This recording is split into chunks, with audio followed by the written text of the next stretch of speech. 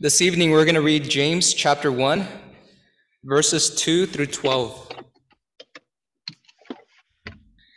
My brethren, count it all joy when ye fall into diverse temptations, knowing this, that the trying of your faith worketh patience.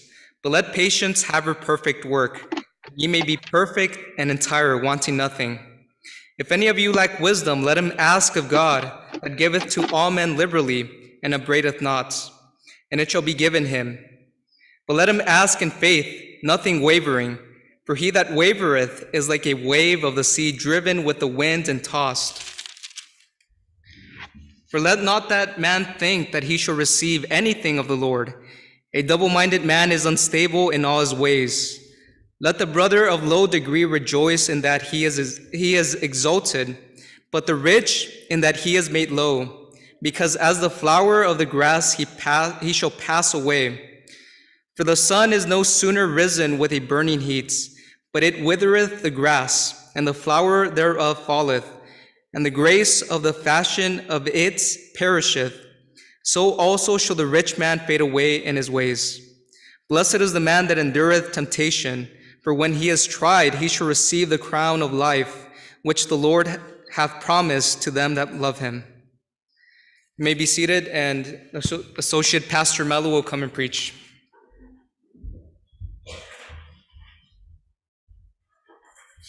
Thank you, Jesse. Thank you for your prayers. Really have been helpful, and I've seen a difference in my body, and I'm glad to be here to preach, to be given this opportunity to preach by God's grace. And so, um, every opportunity I get from God to preach, I'll do my best to preach with everything I have. One day I won't be here. I will be in heaven. I don't want to leave this world not giving out my best, my very best at everything I do. So, with that said, let's begin. The title of my message for this evening is Persevering Through Trials. Persevering Through Trials. It is trials and tribulations in the life of a Christian that refines our trust in God and increases our dependence upon the Lord. It is it is trials and tribulations, as Jesse read in our text, which is James 1 12. Blessed is the man that endureth temptation. It is trials and tribulations that refine us, that refine our trust, and increases our dependence. The new year has already begun that way with trials and tribulations for all of us. Please try again. Now, often it is our reaction to the difficulties and dangers we face in our everyday lives, and even to the distresses and despair of others that determine whether we truly have faith in what we believe about Christ's sufficient strength. Right? Some of you say you have faith, but it is trials and tribulations that truly determine whether you truly have faith in the one that promises, that claims to have all strength Jesus Christ. You see, we can all run around telling everybody of how strong is our God. But when you are tested and tried, and it seems like your body, your mind, your heart has failed to continue to keep on. That's the moment in weakness when you truly, your faith truly is tested and truly you show and your reaction, whether you truly have faith in the one that has all strength and all fullness and can re- deliver you from the issues of life. Yes, a man's true character and faith is revealed when he is being tested, not when he is not. Not when God seems to be blessing that man, and there is no need for him to cry out for mercy or for help. Our text says, Blessed is the man that endureth temptation. Blessed. Blessed. Blessed. That's a beatitude. Blessed. Blessed. Now, for some reason or another, we tend to think that if a man or a woman who is a Christian is struggling in his or her faith, it is perhaps because he or she lacks faith or has lost favor with God. Again, we tend to think this way, but that is not necessarily true, for the Bible says that we know that all things work together for good to them that love God, to them who are called according to his, pep- to his purpose. So, from this verse, we see that God could not have any ill intentions to hurt us in letting trials oppress us. He couldn't, because all things for the Christian, all things work together for good. Therefore, we should be, as Christians, cautious on how we judge the mishaps and the trials and tribulations that a child of God goes through in their everyday life. Remember Job. Remember his friends.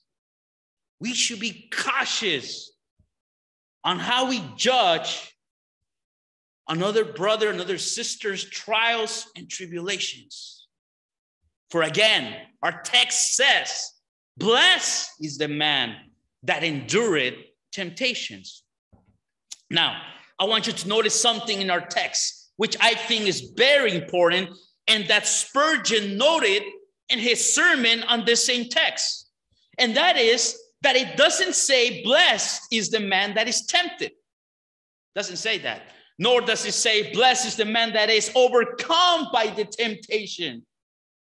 I heard a lot of many Christians say that. I was, oh, well, I was close, but I was overcome by temptation. Nor does it say, Blessed is the man who is never tried, never afflicted, never tempted. No, but it says, Blessed is the man that endures temptation. In other words, that bears temptation, that survives it. The beatitude, it's blessed. Blessed. The Christian is called to survive temptation, not to give in, not to fall in it.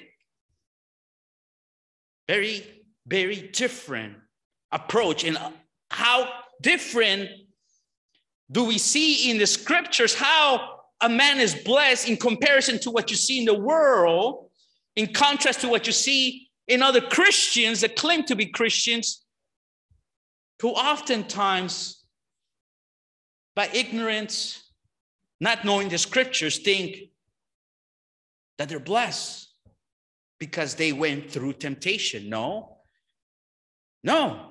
Blessed is the man that endured, that survives temptation, that does not fall in temptation. Yes. But now, Think about this. In the second part of our text, we read of a reward.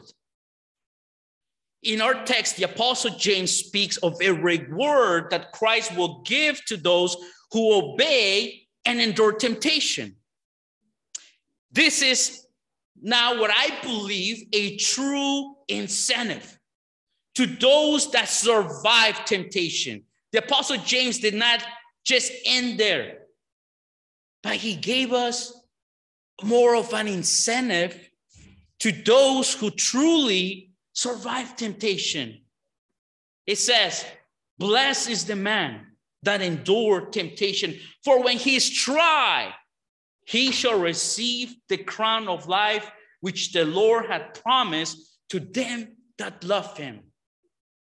When he's tried, when he's approved, he shall receive the crown of life which the Lord had promised to them that love him. And so tonight, the purpose of my sermon is to encourage you, brothers and sisters, to welcome tribulation and to endure it with joy. For great will be your reward in heaven. And yes, it will indeed be great. Listen to this sermon. Do not go to sleep. I see eyes being closed. Do not go to sleep. This is not the time. There is a reward for those that endure temptation, even closing your eyes. First, every true Christian should welcome and endure temptation with joy and patience. With joy and patience. Yes, brothers and sisters, we should, for our text says, blessed is the man that endured temptation. And the context of our text confirms that. At the be- in the beginning of chapter one, James, James says, My brethren, count it all joy when ye fall or ye when ye encounter divers or various temptations. Count it all joy. Now, why? Why does he say to welcome them? To count it all joy? Well, the answer is found in the next verse. He tells us why. He says, knowing this, that the trying or the testing of your faith work it patience work it patience so so james is saying that it is tribulations and temptations in our life that work it patience which is one of the greatest characteristics and virtues that a true christian can possess after conversion according to Second peter 1 3 6 now, listen to this. Listen to what Peter said to the Christians of the first century church. He says, quote, grace and peace be multiplied unto you through the knowledge of God and of Jesus our Lord, according as his divine power had given unto us all things that pertain unto life and godliness. Through the knowledge of him who that had called us to glory and virtue. He called us to glory and virtue, whereby are given unto us exceeding great and precious promises, that by these ye might be partakers of the divine nature. So we're given the divine nature the moment we trust Christ, and which uh, we need to develop, which are faith and virtue into virtual knowledge, into knowledge, temperance, or self control. And trust me, Christians, there's many here, including myself, that needs self control. That is a virtue, that is a characteristic, that is something that you should work on. And to knowledge, temperance, self control, and to self control, patience and to patience, godliness, or holiness. Patience, that's a characteristic, that is a dress code that you as a Christian should have. And none of us, none of us here have patience fully. None of us. And I like the illustration Spurgeon gave about having true patience. He said something that was very good that just struck me. He said, if you are a woman, a Christian, and you claim to be patient, very patient, ask yourself a question. Have you lost, if you're married, have you lost your husband? Have you lost a child?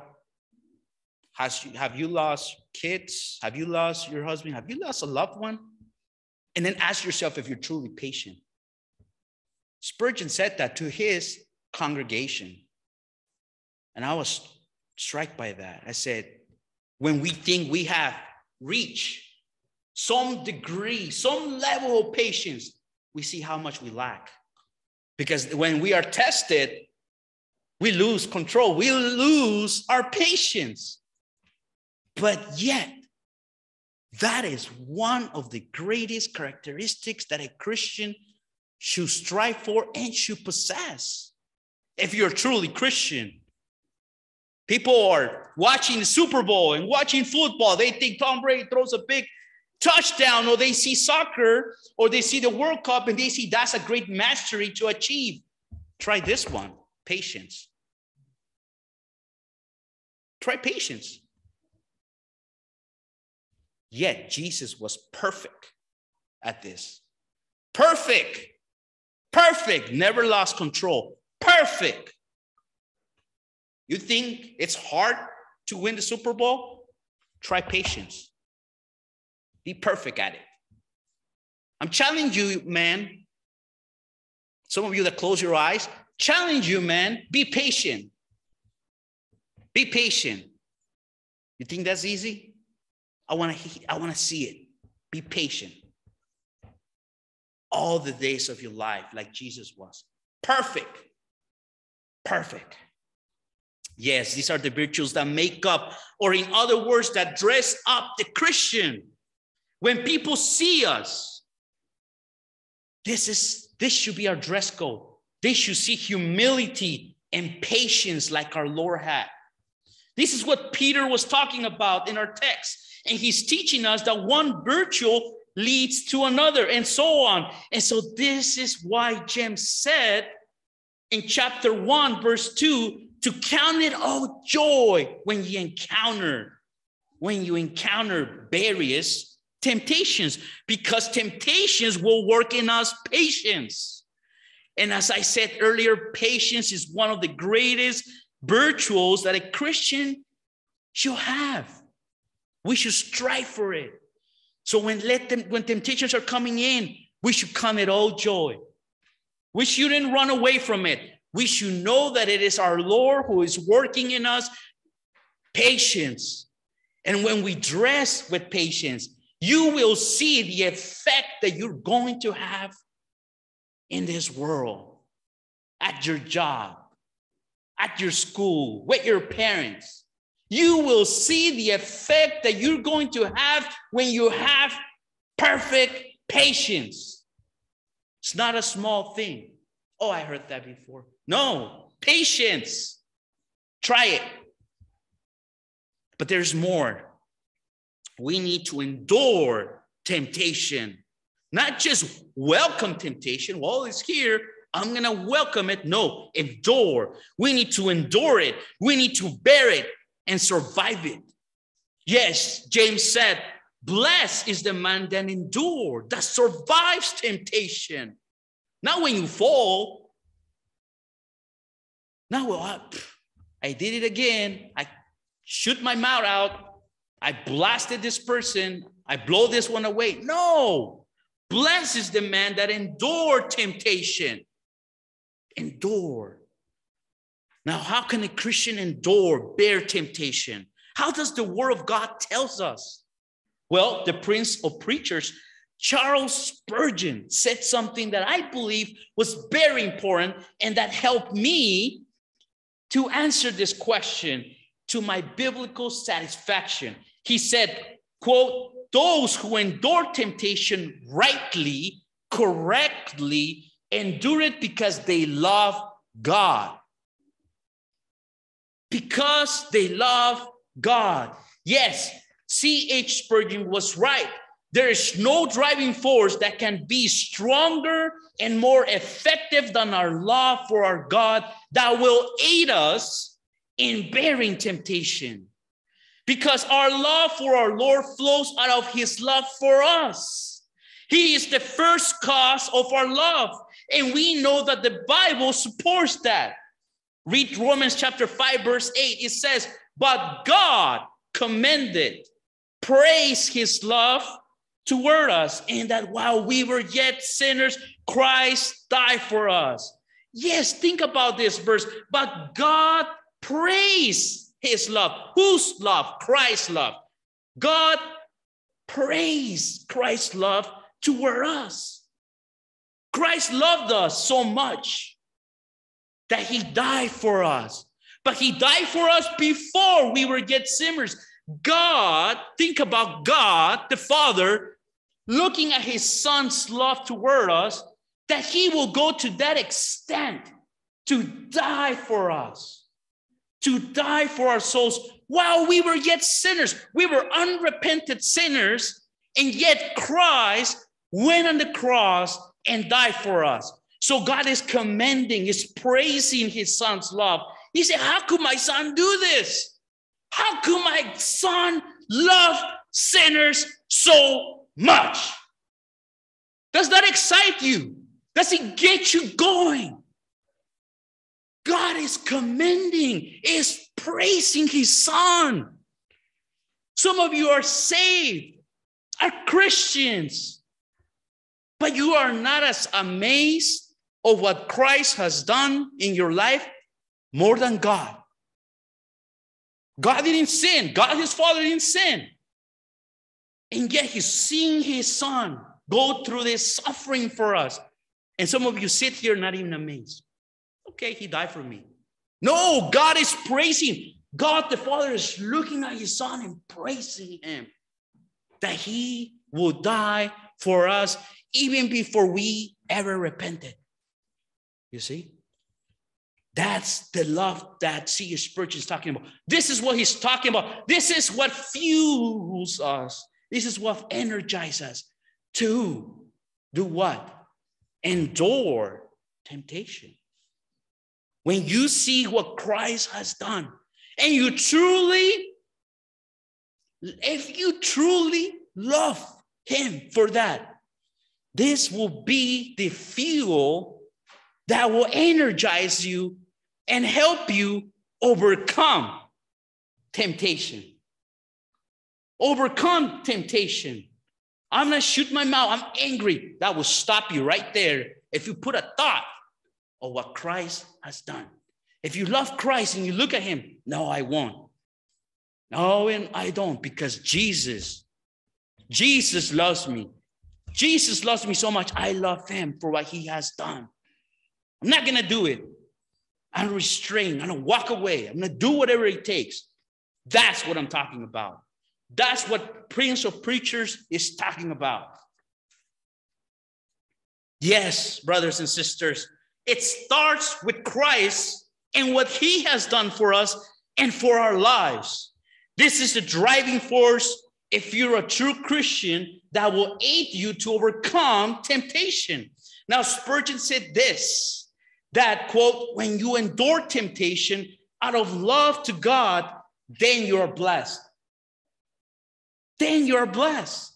If you endure temptation out of love to God, he added, I cannot see how a man can be unhappy who really loves God. Love to God is in itself such a delightful emotion that before long, the indulgence of it perfumes the whole mind with happiness. To love you, my God, said Spurgeon, to love you, my God. Surely, if you give me no more than this, I will bless you forever and ever. It is heaven enough for such a poor creature as I am to be permitted to love the Lord my God with all my heart, soul, and strength. Think about it. It is heaven enough for such a poor creature like mine. Think about Spurgeon, what he's saying here. That God will let us love him us who sin against him day and night, day and night we sin. We neglect his word. He bores us. We'll rather be on YouTube, watching movies, relaxing. But when we read God's word, oh, it's a chore. Think about it. It's a chore to you. But look what Prince of Preacher is saying here. It is heaven. It is heaven enough for such a poor creature as I am. That's what we are, poor creatures, to be permitted to love the Lord my God with all my heart, soul, and strength. Think about this. Yes, brothers and sisters, our love for Christ is our aid and our strength to overcome trials and temptations. It is. See, Spurgeon is right on this overcoming trials and temptations for the Christian, it is not legalism. That's what he's saying. He's saying it's not moral keeping. No, it is not obeying more commands, more rules. Oh, how do I keep myself from temptation, from falling? I keep falling. I watch pornography, but I keep falling. I keep falling. How, how? It's not moral keeping. No, it is not legalism, but it is by having an intimate relationship with our Lord and our God. Yes, this is how we overcome the flesh. This is how we overcome the world. And this is how we overcome the devil. When you love God. Because when you love God, it's hard. It's hard when you're spending time with God to turn your computer on and watch porn.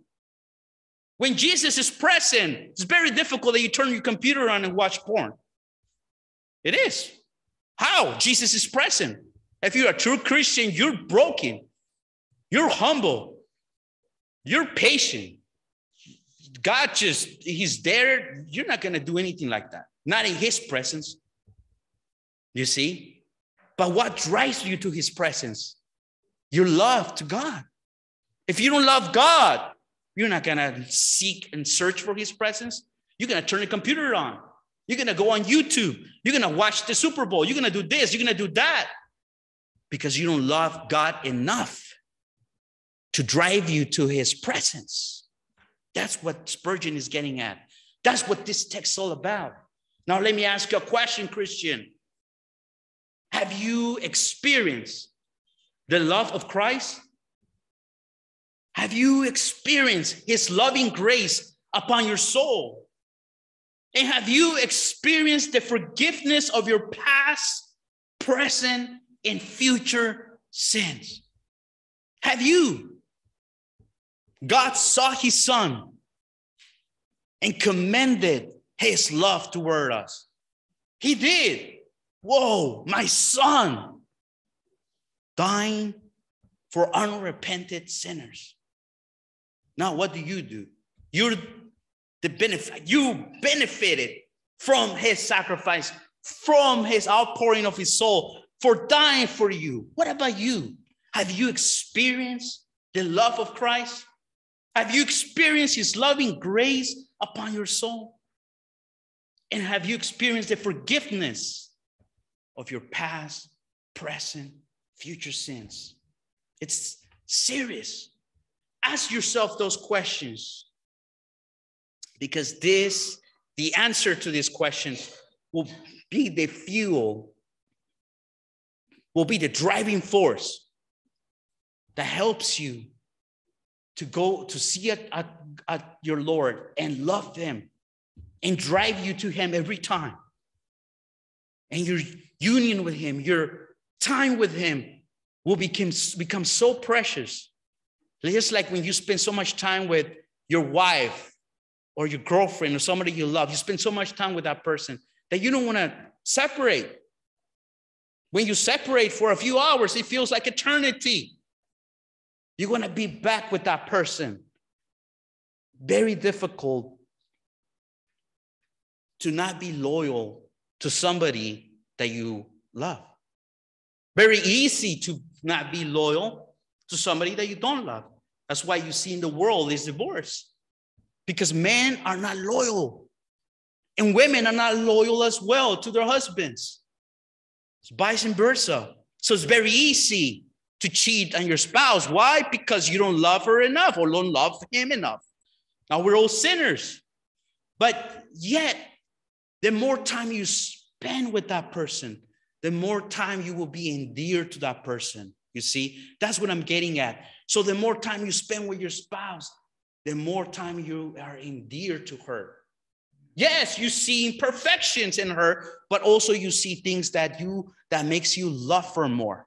You see, you see both. And all these good things are good things that make you fall in love for her. The same thing with Jesus. The more time you spend with Christ, the more time you will be thinking about him and you will be seeing the goodness of who he is and you will fall in love with him.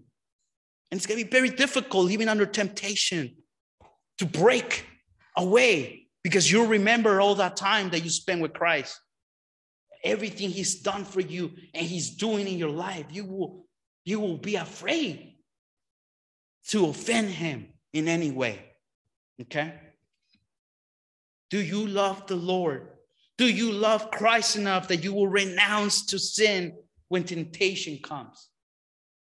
Blessed is the man that endured temptation. Blessed, blessed. It's a good thing. Blessed, you are blessed.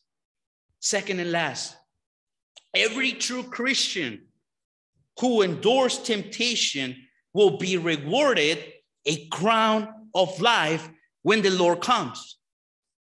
Yes, our text says, Blessed is the man that endured temptation, for when he is tried, approved, he shall receive the crown of life which the Lord had promised to them that love him. Notice it says that love him, that love him.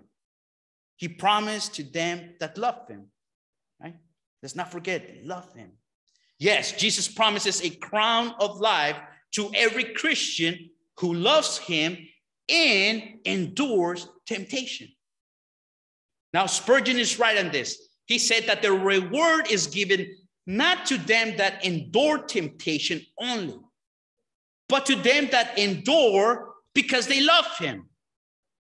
For this are they that cannot fall into sin because it will grieve him who loves them so well and whom they love with all their hearts.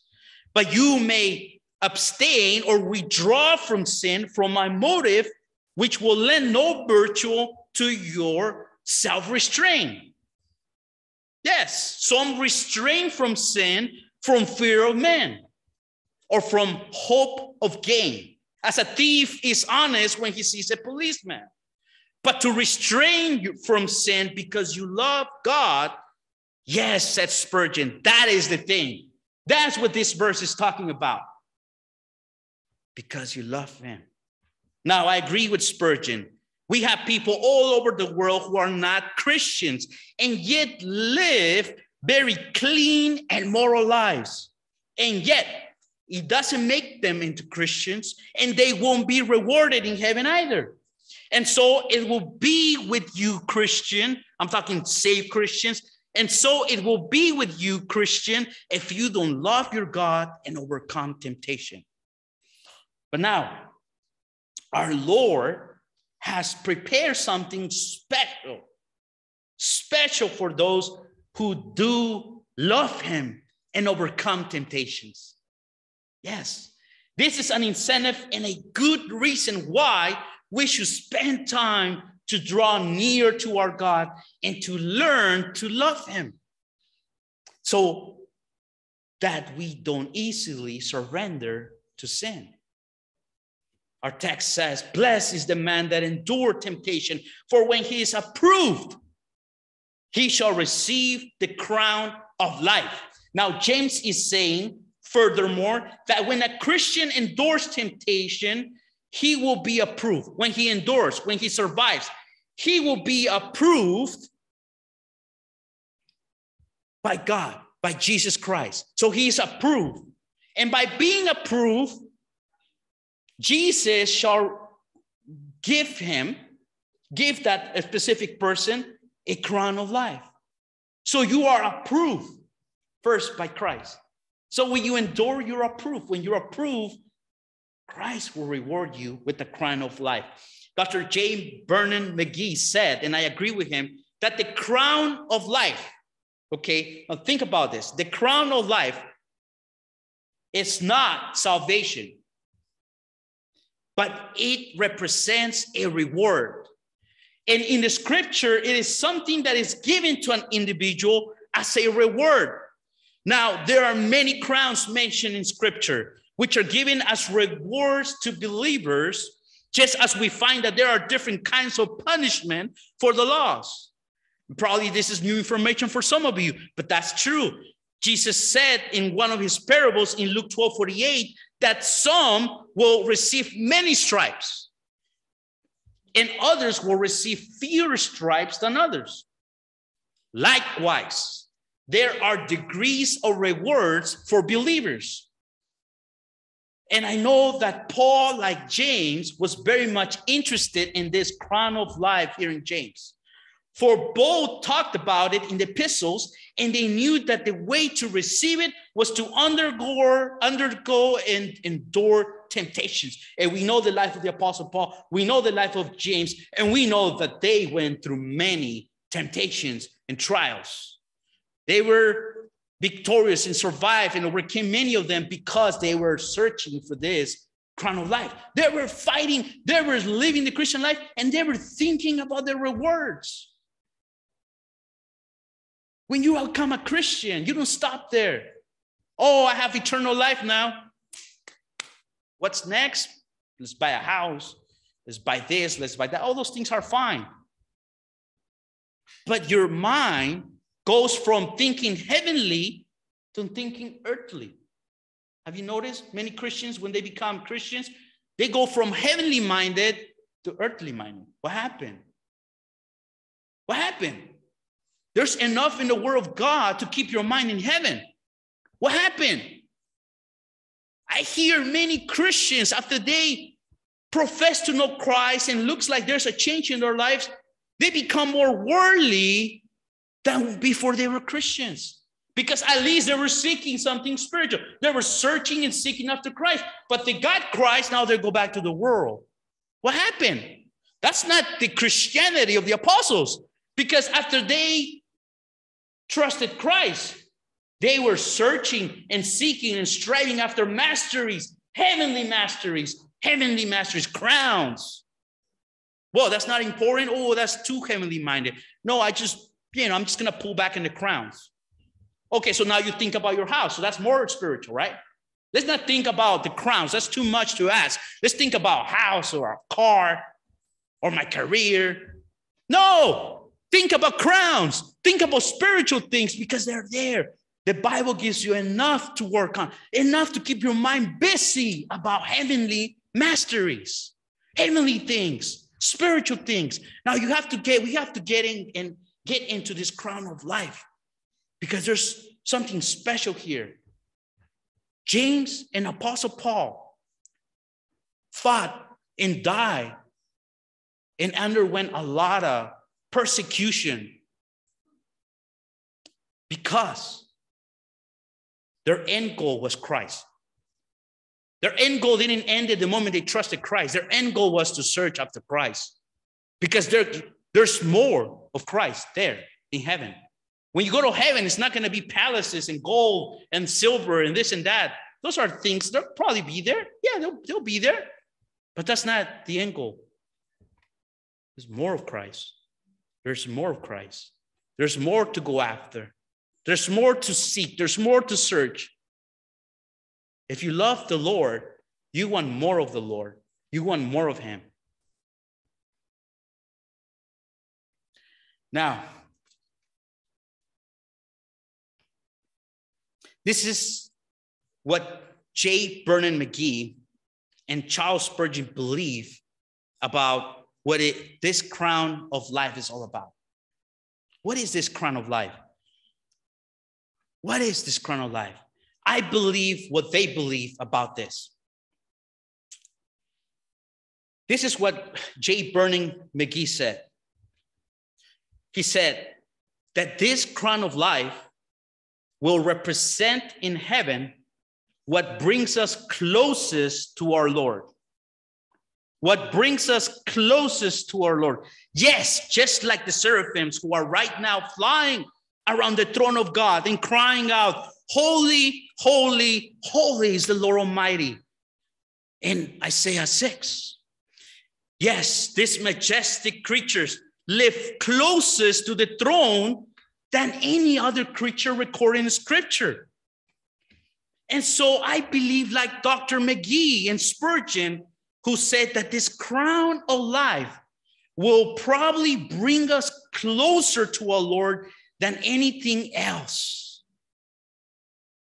Than anything else. This crown of life will draw us closer to Him. Now, this is not an absolute truth, but to my biblical understanding, the most probable one. For Christ is the source of all life And if this crown represents more life than having eternal life, then the only thing higher, greater than that, must be to be near to the source of all life, who is Jesus Christ Himself. And that's to me most probable than anything else. What could be greater? You already have eternal life. What could bring us closer? What could be more life? What could give us more life other than Christ, who is the source of all life? And so, just like the seraphims who live in that glory, who cry out, Holy, holy, holy, they live close. They are the beings that live the closest to the throne of God. And so I believe, like Spurgeon, like McGee, that maybe this crown will draw us near to our Lord. Our communion, our love towards Him will be shown that way. We will be rewarded by being close to the one we love. Close to the one we love. But you must love him, right? You got to love him, or else you're not want to be close to him. But if you truly love him, this crown of life, I believe, will be the aid, the agent to draw us near to our Lord. And I want to be near to him. I don't know about you. Maybe you want to be balanced. I heard Christians say, I want to be balanced. I don't want to, I'm a Christian now. I trusted in Christ. My sins are forgiven, but I'm going to be balanced now. I don't want to be too religious. I don't want to show to the world. Maybe I'll be more attractive to people, bringing people into the church if I am balanced. Because I notice that Christians who are too radical, they don't tend to be the best soul winners. I heard Christians say this. They don't tend to be the best soul winners. They're the ones that are more one foot in the world and one foot in the church. And I kind of have more of an attraction to the world. So people from the world kind of come into the church because they see that I'm not really radical and crazy and like all those other Christians who are crazy. Notice that. But that's not Spurgeon. Some of these people who are like that read Spurgeon, but they don't, they're not like Spurgeon. They just read Spurgeon. They fill their minds with theology, but their heart have no idea what Spurgeon, McGee, and many of these people believe. No, no, no, no, no, no, no. We got to be radical. The way you bring, the way you are a spiritual Christian attraction to the world, you, you show them that there is a Christ and that there is a real Christ. You show them where you like, who you, who you love. By doing that, the people that God is working on, those people will recognize you, will see your drive, will see your love for the Lord, and the Spirit of God will take care of the rest. I'm not going to be balanced here now. I'm going to be too crazy if I go super spiritual now. No, no, no, no. When you come to Christ, you push, you strive to be near to Him. Doesn't matter what anybody says, it doesn't matter what the world thinks. This balance thing from new evangelicalism is false. It's wrong, completely wrong. Not biblical at all. Not biblical at all. Not biblical. And I'm not saying there's people, I'm, I'm talking, we have to be careful what we hear and what we see out there. We should be fellowshipping with other brothers and Christians in the church. Absolutely, we should but we should also still be a witness to them. Show them the right way, show them the right path, show them that we are radical for Christ because this crown of life, I want this crown of life. I really do. I used to run for cross country and track, I used to run for crowns that perish. But this, this is eternal. This is eternal life. This is what we should be striving for. We should this should blow our minds. I don't care what people think about me. I don't. I don't care about richness and all. I want this crown. I want to be near to my God. I want to be near to my God when I get to heaven. I want to be the closest I can. I want this crown because I want to be close to my God. Forget this world. They don't love me anyways. But my Lord loves me. My Lord loves me. He wants me to be near. He wants you to be near to Him. He wants you to be very close to Him. I want this crown of life. Now, C.S. Spurgeon described having the crown of life this way. Now, listen to this and ask yourself if we don't have a wonderful future ahead of us for those who overcome temptations. Quote Spurgeon If we live through faith in Christ, by God's grace, a life that shall be full of purity and holiness, God will give us a crown not of laurel, nor of parsley, nor even of gold and rarest gems, but a crown of life that he has promised to them that love him. What is a crown of life? What is life? He says. Well, life is not mere existing. In fact, existence, though it is essential to life, does not enter into the meaning of life, nor so much as come near it. For to live means to be in health, to be in vigor, to be in force, to be in joy, to be in right and fit condition, to have one's whole self in order, and to enjoy all that surrounds you with all that is within you. Yes, we shall all be forever filled with the fullness of God. There shall be no pain. Think about it no pain, no misery, but a plenitude of enjoyment at his right hand, where there are pleasures forevermore. All your life shall be crowned, and all the crown shall be life. Amen.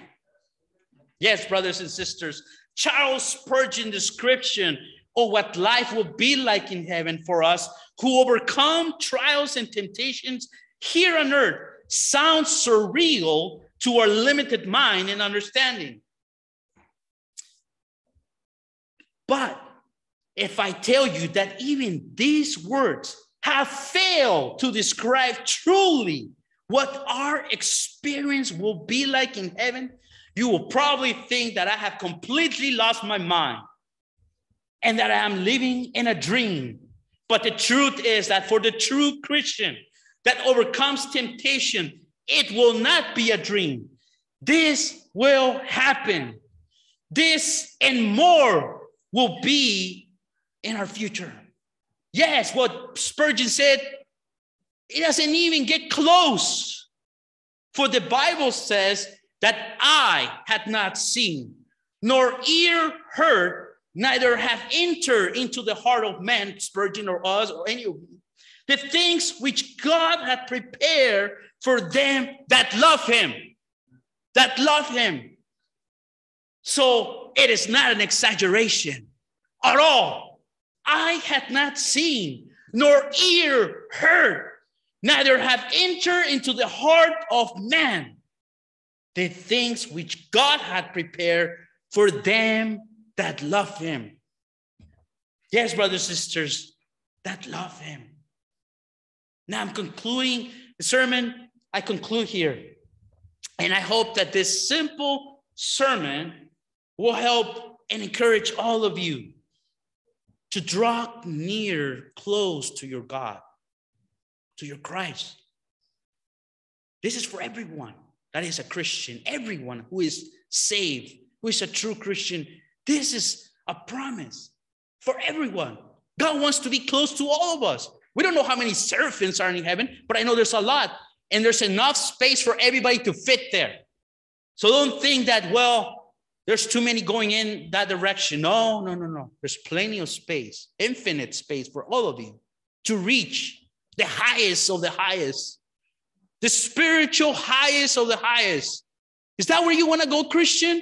You want to be up, up in heaven, but you want more? You want more of Christ or you want less? You just want to be balance. I want to be balanced so that I'm accepted in the world and then I'm accepted in the church. Or you want to reach the highest, the Himalayas. What you want to do? You want to reach heaven? Be up with the Lord, satisfy being with Him? That love Him, that love Him. I conclude here. And now our dear Pastor Chan will come and close the service and anything else that that he needs to say. I'm sure there might be things. But I hope I made myself clear. This sermon, God really spoke to me through these two weeks of trial. I felt at some point that I was going to die. I said, I got to give something before I die. I'll write a sermon. Maybe I'll give my last sermon. I was thinking all kinds of things. My mind was everywhere in circles, but I'm here. I prepared the sermon. I hope that inspires you to push, push for heavenly things, heavenly crowns. And when I see you in heaven, I'll be, wow. You live for the Lord. You truly live for the Lord. This person really lived for the Lord. You see, that's, that will make a pastor, I think that will make any pastor or any Christian happy to see all of you just up there reigning with the Lord. Thank you.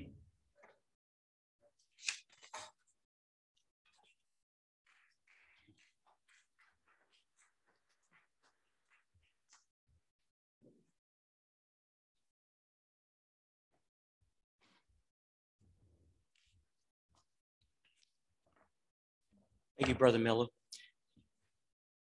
Now, I want you to think about what Sergio just said, and I want you to think about did that resonate with you, what he just said? You know? Because if you're a Christian, it, will resonate with you. You'll, you'll either get convicted of sin, of your of where you are with Christ, or you're excited but if it doesn't do any of that, then something is wrong, see? Let me just speak a little bit to Christians and then I'm going to speak to the lost a little bit. Let me just mention this whole thing about balance. There is someone in the Bible that wanted to be balanced, didn't want to be overboard. His name is Saul. And God told him, destroy the Amalekites. Don't let anyone live.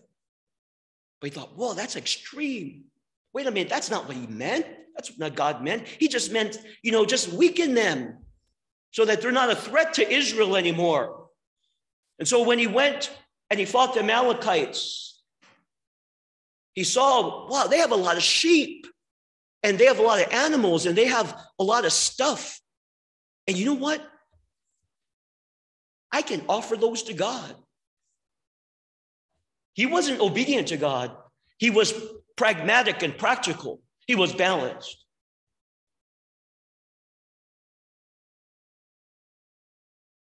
But that's not how the Christian life works. Jesus made it very, very, very clear. You save your life, you're going to lose it. It's everything. You don't love me more than your mother, father, your own life also, you can't be my disciple. Very clear, radical. A radical Christian is a normal Christian. It's just normal. So let me just say that. Pastor Melo said it's a matter of love. Quoting Spurgeon, that's absolutely true. What did Jesus say? He that has been forgiven much loveth much. It's a matter of reality. Do you appreciate and love Jesus for dying for your sins? If you don't love him, then you don't think much of the sins that have been forgiven. Jesus said, If you love me, keep my commandments. You see, I've said many times that love is very practical, it's not just an emotion. It's shown by what you do. God so loved the world that he gave. So if you don't have great love for Jesus, it's because you're not thinking about forgiveness of sins. You're not thinking about reality. It's, it's not real to you. And that's a shame. The Christian life is not only a challenge, but it's exciting. It is exciting. I don't say I always think it's exciting. I don't say that I'm always joyful. I don't say that. But I do know, do know one thing. When I'm in a good place with God, I feel like Samson in the way of nothing, nothing can trip me. I'm thinking, God is so real, and the love of God, eternity is so real. What are these temptations? No, I want more of God and more of Christ. And you know what I mean if you're a Christian. When you're in a good place and you commune with God, you feel that all the promises are so true, that Christ overcame the world. And because God gives you faith in Christ, you've overcome the world. You're not touched by temptation. I'm not saying I feel that way all the time, but I know this when things are real and I love God more, then it's true. That's my word to Christians. If you are not moved at all, if you're not convicted at all, if you're not if you're not encouraged at all, there's something really wrong because that's not your reality. That's not your that's not your focus. Because you're you should either be convicted or inspired if you're a Christian. Now let me talk to the lost for a minute. The passage says that when you go through a trial, that you're blessed, that you're happy if you endure it. Now, reason with me for a minute. Everybody goes through hard times, right? Not just Christians. Everybody goes through hard times. We've all had people die that you know. You've all had afflictions, whether it's sickness, whether it's pain, whether it's disappointment, whether a relationship. All of people have had hard times. That's what I said this morning, because mankind is cursed. And so we all have to endure the trials of life and God's judgment of sin in general. Just because something bad happens to somebody doesn't mean they're a sinner. That's what Jesus said. He said, Do you think the Galileans do you think there are sinners above them all? What about the Tower of Siloam that fell? Disciples thought those are bad sinners. Tragedy happened to them. They must be bad. What did Jesus say? Except you repent, you shall all likewise perish, you see. So, like Brother Melo said, if you're going through a trial and somebody is having a hard time, if they're a Christian, we shouldn't pass judgment on them because they may very well endure, whereas you might not. Or they may be a lost person. It doesn't mean that they're sinners more than everyone else. So we got to be careful. I said this morning, vengeance is mine, saith the Lord. But let me tell this to the lost person. I said trials and disappointments and hardships happen to everyone. But the difference is this there is a purpose to every trial that a Christian goes through. It's to test us. That's what temptation means to test. And if we succeed and are victorious, if we endure, then we get a reward. Then we get closer to the throne of grace. We have more fellowship with God. There's a reason for every hardship that the Christian have. But if you're lost, you have nobody to help you to get it through. There is no reason by God that you're going through that. Nothing that you can point to.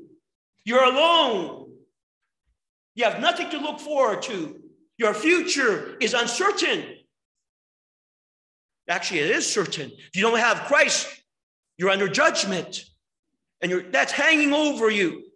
And you can suppress the truth of God, like I mentioned this. You can suppress it but it's still there. It's still there in a nightmare. It's still there when you, you get depressed, when you're by yourself, because you're walking through life alone and you're, it's all uncertain. And every single disappointment, you can't, like the Christian, say, This is to test me, because God will reward me. I can do all things through Christ who strengthens me. You have no such hope. The life's a mystery. You don't know what's going on. And that's because of sin. Yes, you need forgiveness of sins, but you're not thinking about that. So let me offer you what eternal life is. It means that you have life with God, that God knows you, that everything that happens to you is for the purpose of God. And there's great, there's great comfort in that. You can go to sleep and put your head down. You might have had a hard day, things are ahead, but praise God, God's in control. God's on his throne. God, give me mercy to serve you, to love you, to be faithful to you, to endure temptations. There's hope. We have a God that invites us to talk to him, that he will help you. You have no such God. All the insecurities of your life, you got to deal with yourself. And you know what? You're going to lose. Come to Christ and experience God, experience peace with God, experience a future. You have a future with Christ, a good future, a future in heaven. And every step you take, if you lean upon God, He will guide you, He will lead you. There's great comfort in that. Why live separate from God, worried about your future, just hoping that you'll be happy because you'll land a job or a girlfriend?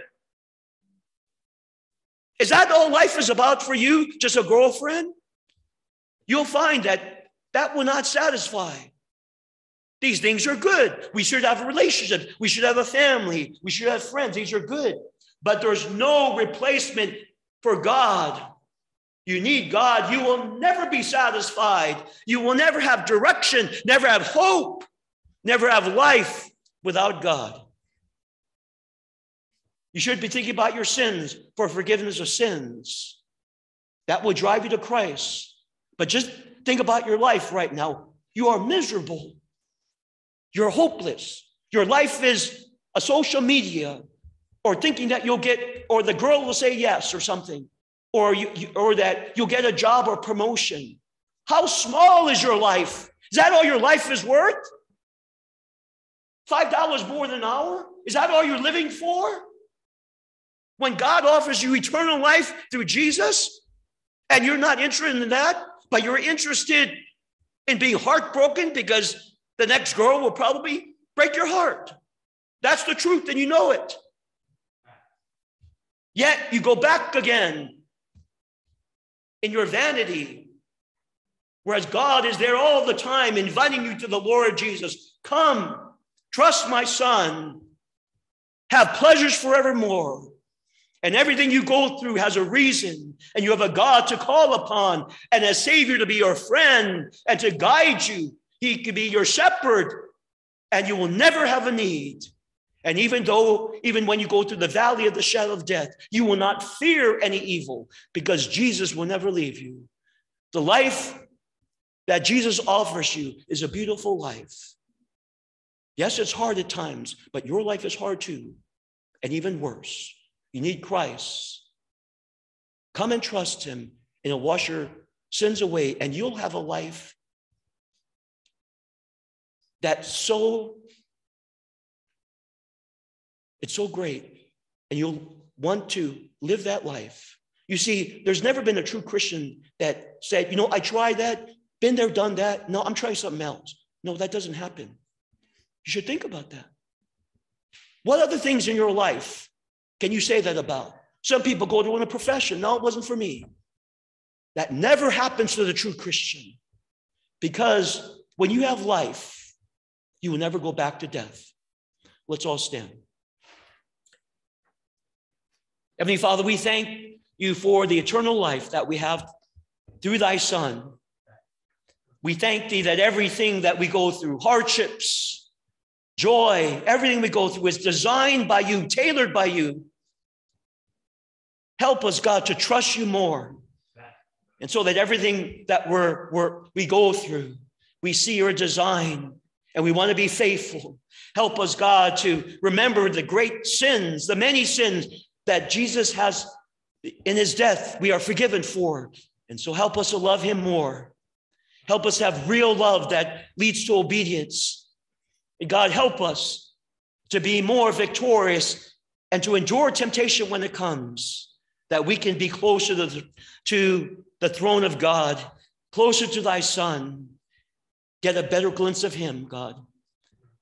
Lord, I pray for the lost that thou would help them to sense their insecurity without you. Help them to sense that they do have sin and they're not right with you. God, speak to their heart right now and show them that their life has no direction and they need hope. They need peace. They need forgiveness of sins. They need you to the Lord Jesus. Draw them to thy Son.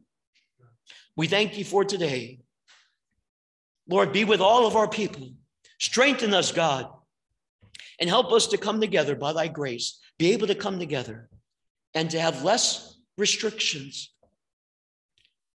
That the Omicron in the community would die down, that we would be able to enjoy one another's physical presence very soon. In the meantime, protect all of us, God, by thy grace and power. We ask all these things in Jesus' name. Amen. If you want to talk to either Pastor Melo and I and your loss, you can approach us anytime. It will be our privilege to talk to you. And you need to take care of that. Don't push it behind. Don't procrastinate. Don't gamble with your life. You need Jesus, so you know it. Begin life now with Christ. Talk to us. Talk to Mr. Melo, myself. All right, you're excused. Thank you.